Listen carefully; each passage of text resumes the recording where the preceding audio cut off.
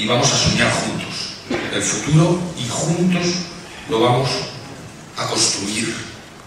Es un nuevo contrato social que como Lendakari quiero proponer, porque hoy, gracias a que en otros cursos anteriores también pusimos ilusión y ganas y compromiso, hoy tenemos la responsabilidad de liderar Euskadi desde el gobierno vasco.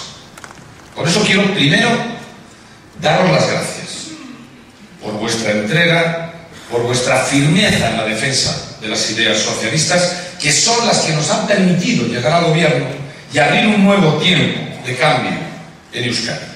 Y también quiero animaros a que sigáis siendo los agentes activos de ese cambio y de ese nuevo tiempo que tanto necesitamos en Euskadi.